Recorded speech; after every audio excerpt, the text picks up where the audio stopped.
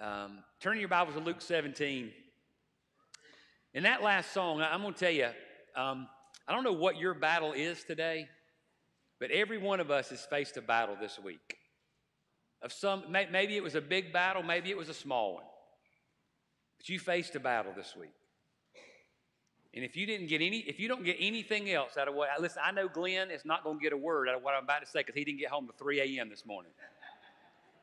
He's about to be snoring and taking a nap over there in just a second. And that's okay. I just appreciate him being here. Um, if you don't get anything else out of what I say today, that song that we just sang says it all.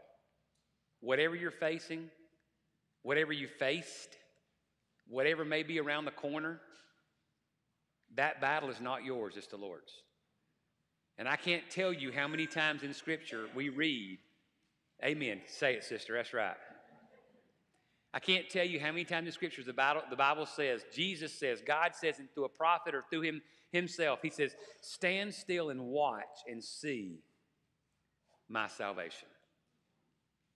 If you'll lean into him, your marriage is struggling, your job situation struggling, your home life is tough, the battle belongs to Him. If you're one of His children, He's there for you.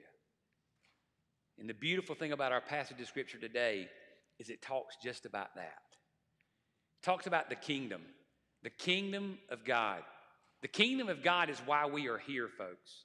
The kingdom of God is why we gather on a uh, multi times a week to get together and to pray and to talk about the Lord, to look at His Word, to sing praises to His name. It's about that kingdom. And today we're in Luke chapter 17, and we're going to be looking at verses 20 through 37. And honestly, we're just going to walk through it together today because it just lends itself to that. But Jesus is talking to us about that kingdom. And there's a common theme that, that runs throughout Scripture in a lot of different areas that's called the already not yet. And that's really what one of the, the key ideas we're looking at in this passage today is that the kingdom of God has already come. It came in Jesus Christ, He brought it to earth. But yet, when we think about the kingdom, we're thinking about that ultimate kingdom, that kingdom when Jesus Christ will come and set up an earthly reign and He'll rule and reign forever and ever, and we will be with Him. That kingdom is still yet to come. So we have an already not yet kind of tension in this text of Scripture and Jesus is trying to help his apostles and his disciples and those around him to understand that and to give them courage and strength, but also to give them awareness. And today, as he speaks to us through this word that was written thousands of years ago, but yet is still relevant today, it gives us strength, it gives us hope to realize that there is a better day coming.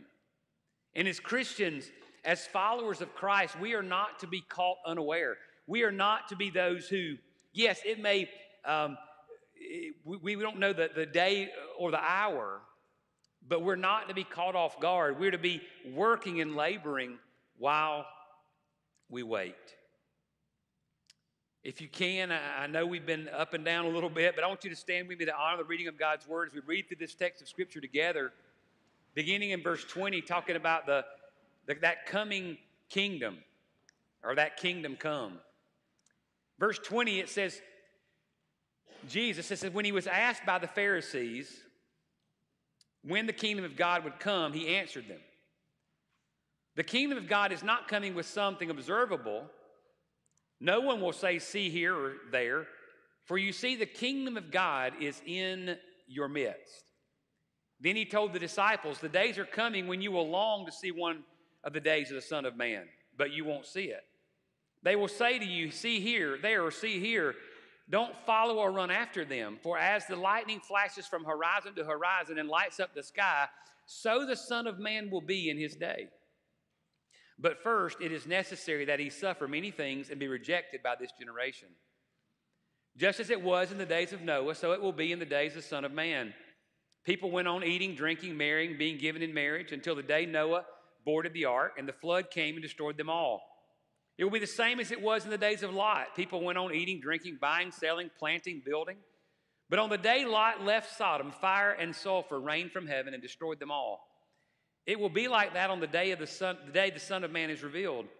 On that day, a man on the housetop whose belongings are in the house must not come down to get them. Likewise, the man who is in the field must not turn back. Remember Lot's wife. Whoever tries to make his life secure will lose it, and whoever loses his life will preserve it. I tell you, on that night, two will be in one bed, one will be taken, the other left. Two women will be grinding grain together, one will be taken, the other left. Two will be working in a field together, one will be taken, and the other left. Where, Lord? They asked him. He said to them, Where the corpse is, there also the vultures will be gathered. Father, thank you for your word. Thank you for the truth of it. And Lord, I pray now as we spend the next few moments applying it and looking at it in respect to our lives today, may you just be glorified and may you speak into our hearts in Christ's name. Amen. You can be seated. So we think about this passage of scripture. It's obviously, you know, Jesus is having a dialogue with his disciples. He's having a dialogue with the Pharisees. Uh, he, we've seen men healed. We've seen uh, him talk about the, the faith of a grain of mustard seed in this chapter that we're in right now. This dialogue continuing. The, the Pharisees, I, I, don't, I don't really believe this was a question that they were asking trying to trick him. I think they were really trying to figure some things out. They had heard a lot about the kingdom of God and what was going to happen, when it was going to come. And they ask him a question and they say, When the kingdom of God would come. God, when is it coming? You see, there's two questions that are asked in here first by the Pharisees, and the second by the disciples. There's the when question, and then there's the where question. The Bible, the, the Pharisees ask, When is this coming? And Jesus answers this, and he says, The kingdom of God is not coming with some something observable. No one is going to say, See here or there. For you see, the kingdom of God is in your midst. The reality we got to first find out, if we first see in this text of Scripture, is Jesus is saying the kingdom of God is not something that we're looking forward to. He's saying if you'll look ahead of you, the kingdom of God is right here among you. So many times we're always looking for something else. We're looking for something better. We're looking for something grander. We're looking for something greater. They were looking for some miraculous signs. They were looking for some, some grandiose event uh, to, to usher in the kingdom of God. And Jesus saying, No, what you don't understand is the kingdom of God, you are looking at it. You, he, the, the kingdom of God is here right now amongst you. You are simply missing it. You see, so many times we get caught up in the grandeur of things. We get caught, they're ready for, the reason they miss it is that he, he wasn't doing it like they expected. He, they were expecting him to come that first time and set up that reign to overthrow the Roman army. You see, the, the Pharisees and the Jews had been under oppression for a long time. They had been under the oppression of the Egyptians for over 400 years. They were under the oppression of the Babylonians for 70 plus years. Now they're under the oppression of the Roman government. And they wanted to go back to the Davidic kingdom. They wanted to go back to the time of David when they were a free people, when they were the cat's meow, when they were the ones ruling and reigning over the area. They didn't like what the, the situation they were in. So they were looking for a Savior to come and set up a kingdom to overthrow Rome and reestablish the kingship of Israel and the leadership of Israel.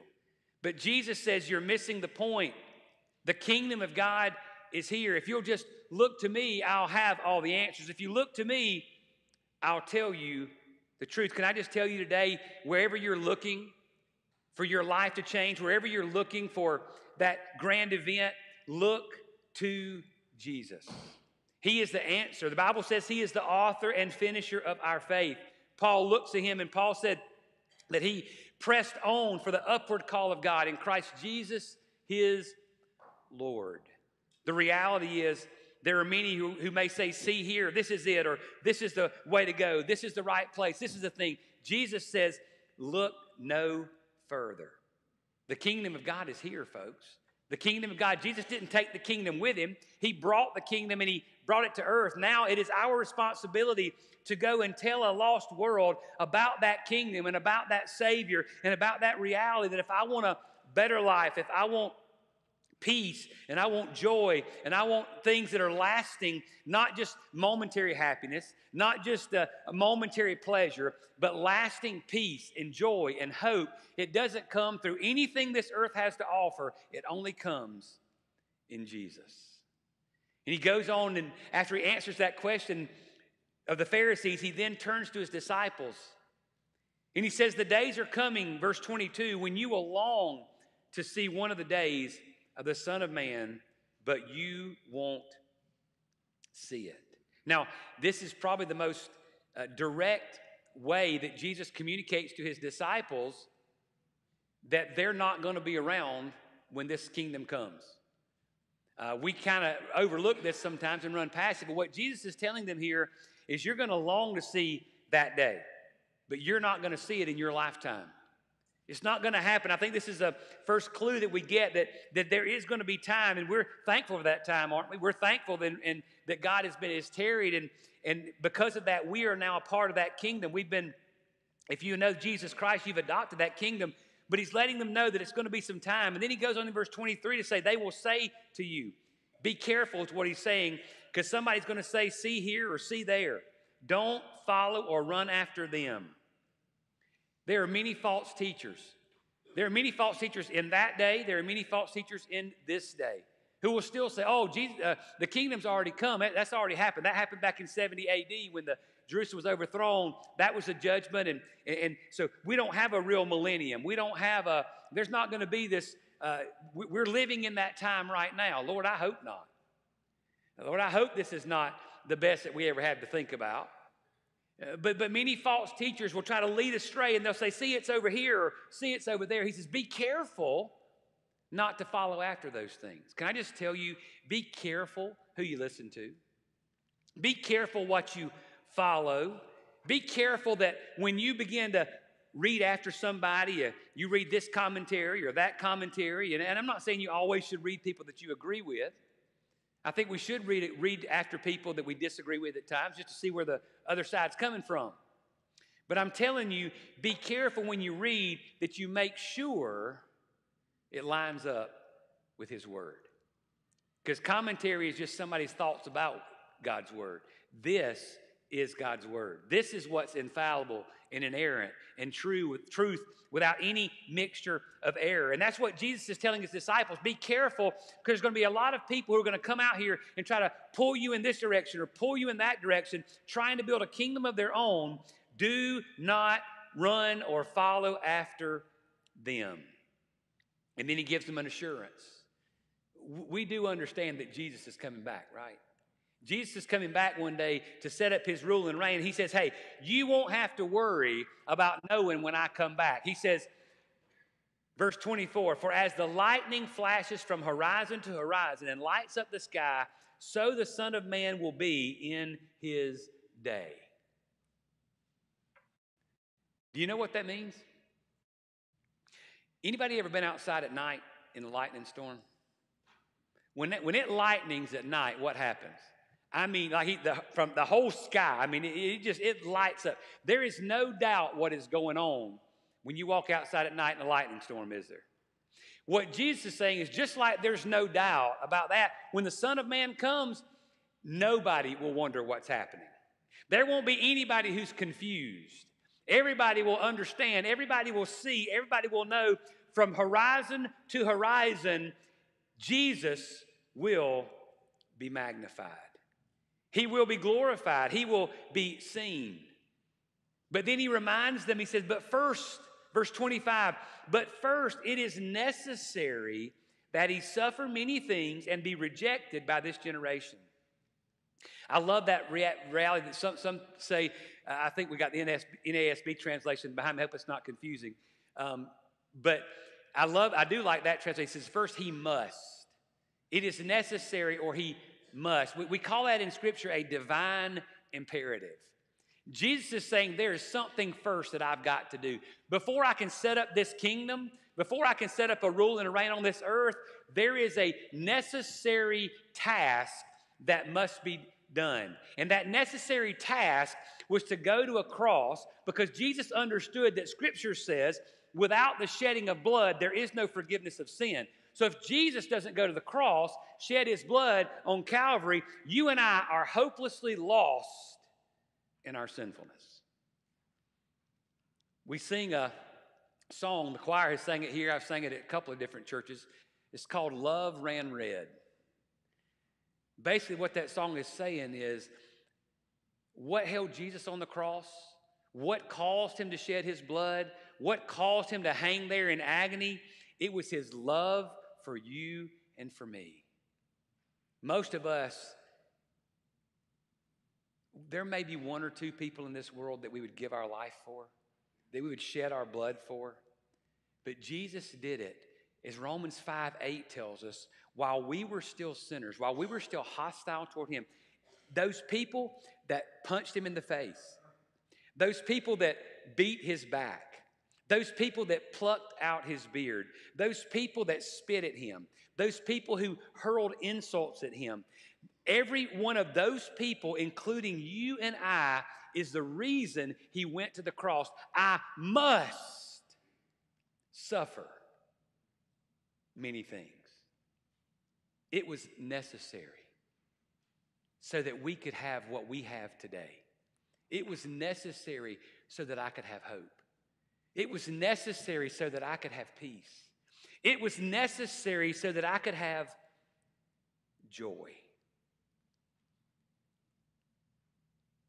He must be rejected. We're in the process of celebrating that rejection. Isn't that, isn't that crazy to say? That we're celebrating a rejection? We're celebrating the most horrible day in history that turned into the greatest day in history. Because Jesus found it necessary to not just come and set up a kingship, but to come and provide salvation. Can I tell you, if you're here today and you've never experienced the love of Christ, you've never experienced the peace and the hope of knowing that my sin is forgiven, everything I've done wrong is covered, and I have hope in Jesus Christ, today you can experience that. Why? Because he was necessary that he suffer. But then he goes on to tell his disciples to look ahead. You want to know what it's going to be like? You want to know how it's going to be when I come back to set up that kingdom? He says, Well, in order to know what's going to happen, you got to look back. And he makes two references to stories in the book of Genesis. First of all, he says in verse 26 just as it was in the days of Noah, so it will be in the days of the Son of Man. People went on eating, drinking, marrying, being given in marriage until the day Noah boarded the ark and the flood came and destroyed them all. Then he gives another, another illustration. He says it will be the same as it was in the days of Lot. People went on eating, drinking, buying, selling, planting, building, but on the day Lot left Sodom, fire and sulfur rained from heaven and destroyed them all. It will be like that on the day the Son of Man is revealed. Now, we can get into the weeds a lot in that, and we can start dissecting all the, the various sins that were going on in Sodom and Gomorrah, all the sins that were happening in Noah's day, where the Bible says that uh, in, in Genesis chapter 6, I think it's verse 9, where, or somewhere in that neighborhood, where the Bible says that um, in those days, God, the, the thoughts and intents of people's hearts were continually evil all the time. Here's the reality it was no different then than it is today. The reality of what Jesus is saying here is, is you want to know when it's going to happen? I mean, it's as clear as absolute mud right here. You want to know when it's going to happen? It's going to happen when everybody's going about their daily business with no thought of me, with no thoughts about God. They're taking care of their own life, they're doing their own thing. They're eating, they're drinking, they're marrying, they're giving in marriage. We can, we can dissect all of those things, but the reality is, when, you, when, when it comes to life, in, in Noah's time, in Lot's time, the, the majority of people in those eras had no thought of God.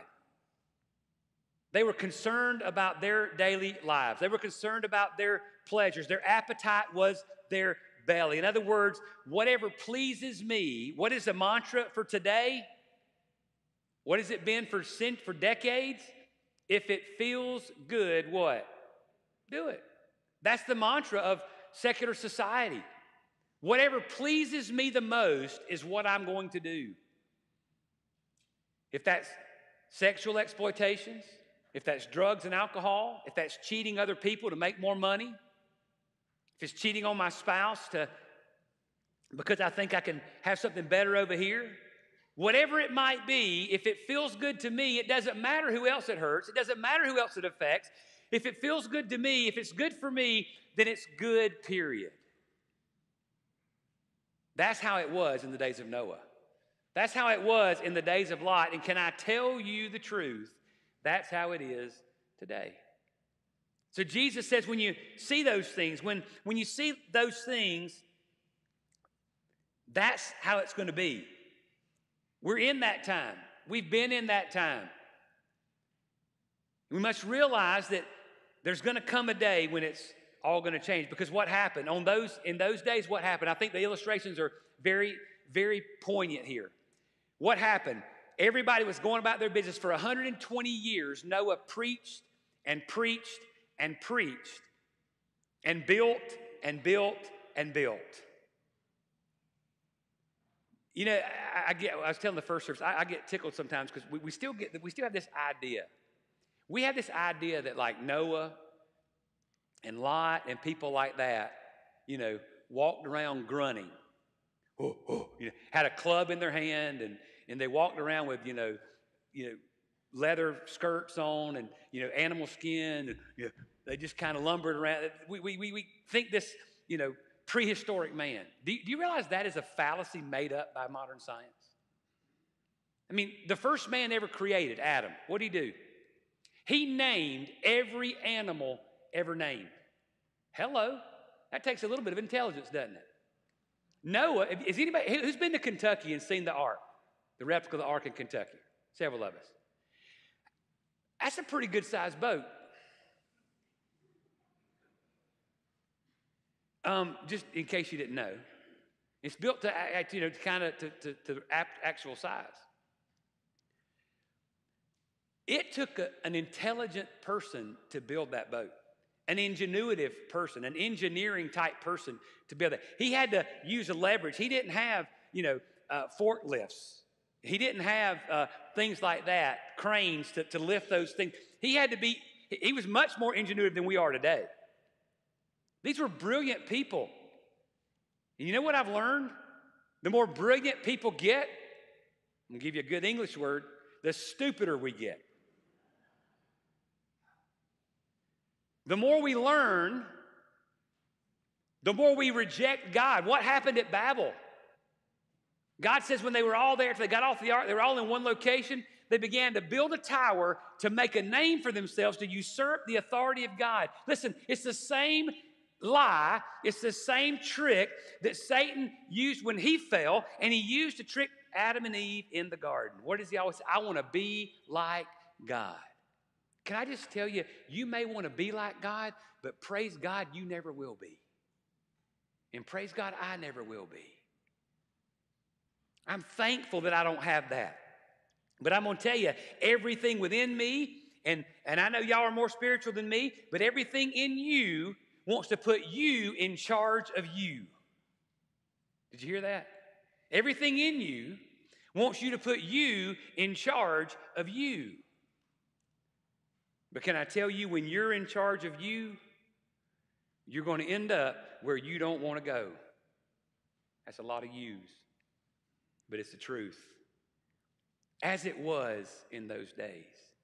But what happened? Noah preached all that time. He's building this ark. Everybody ignored him, but what happened? One day the rain came.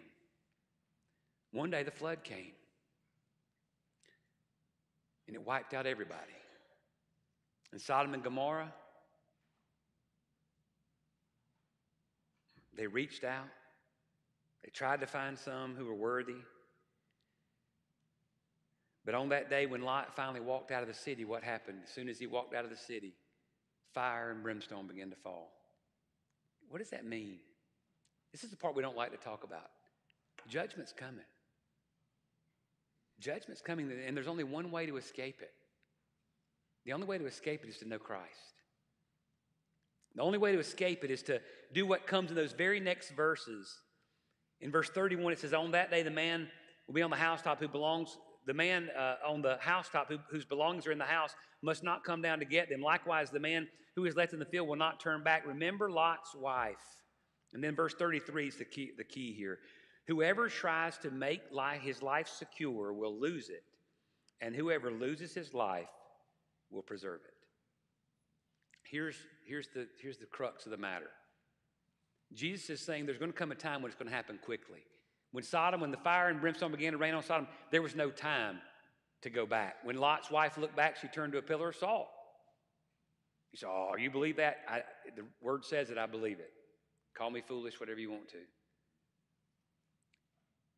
When the rains came and the ark was shut, there was no more getting in. One day there's going to come a time when it's going to be too late.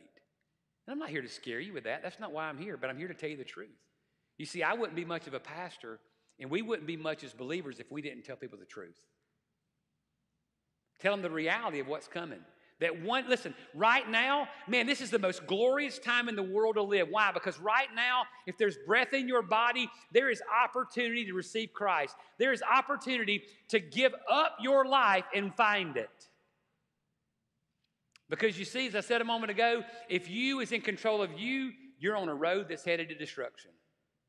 That's what that verse, that's what verse 34 just said. I'm sorry, verse 33. If you try to secure your life, if you try to build your bank account, you try to build your reputation, you try to build your name, you try to build your kingdom, guess what? There's going to come a time when that kingdom is going to be wiped away, whether it's by flood, by fire and brimstone, by whatever means God chooses to use. There's going to come a time when that kingdom will fall. But if you'll say, you know what, I have no ability, if you'll just give up your life, if you'll wave the white flag and say, hey, God, I've tried to fight you. I've tried to do it my own way, but I realize I'm, I'm as, as Jesus told Paul, you're kicking against the pricks. You're kicking against the goads. And you'll say, Lord, I, I need you. It's another song we sing, Lord, I need you. If you'll recognize your need for God and give up, the Bible says at that moment you will actually find life. You'll find hope. You'll find everything you're looking for by pursuing it on your own, you can find it by simply giving up. Didn't say it would be easy, but I said you could find it. And then he talks about the suddenness of it all in verses 34 and 35 and 30, 36. He says, I tell you that on that night, two will be in one bed, one will be taking the other left. Two men will be grinding grain together, one will be taking the other left. Two men will be in the field together, one will be taking the other left. He said, Where, Lord? Second question Where? Where's it going to happen? When's it going to happen? It's already happened. Where's it going to happen? You'll see. You'll see. That last phrase in verse 37 is an odd one, but I want to explain it to you. It says, Where the corpse is, there also the vultures will be gathered. What Jesus is saying is, is you'll know. You know what's going on. Anybody ever rode down the road and, and, and, just you see over some woods or somewhere off as you're standing out by your house and you just see like three or four like these birds or vultures kind of just circling? You see, you, you ever, seen that? This means yes, that means no. Okay, yeah, there you go. Wake up, there we go. Got to get some participation here. When you see them circling, what do you know? Well, you know, something dead. That's right. You can say it southern. Something dead. Got some rope kill. That's right. Something is dead down yonder. When they're circling, there's something dead. They're not circling just because, woo, let's get and find a pattern. They're circling because something is dead down there and they're about ready to go have some grub. They get ready to go eat. Jesus is saying, just like the vulture, where, just like when you see the vulture circling, you know there's something dead. When you see these things, you'll know that I'm coming. And you'll know it's my time. You'll know beyond a shadow of a doubt. Can I just tell you something? What's he telling them? He's not telling them to go look up in the sky and look for vultures circling.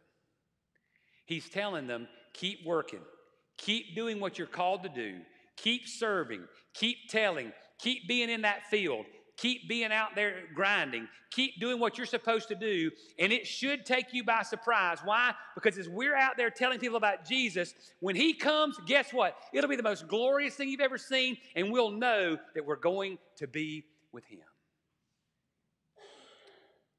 Can I just tell you? Sometime in the next two weeks, there's an event going to happen in our family. And can I just tell you, you said better be less than two weeks. I said inside. I said inside of two weeks. She's over like, better be less than two weeks. Sometime in a very short while, a grand event is going to happen in our lives.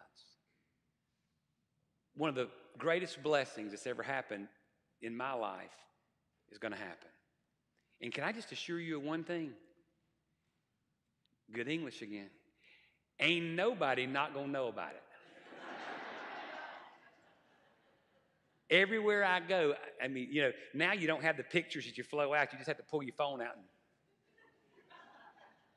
there's going to be pictures everywhere. I'm going to talk about it, and I'm going to celebrate it, and we're going to have all kind of great fun with it. But can I tell you something greater than that precious child that's about to come has already happened to me?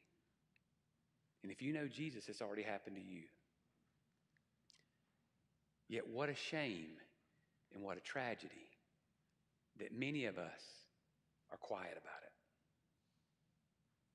That there's people that we walk beside and work beside and live beside every single day who have no clue that we know Jesus.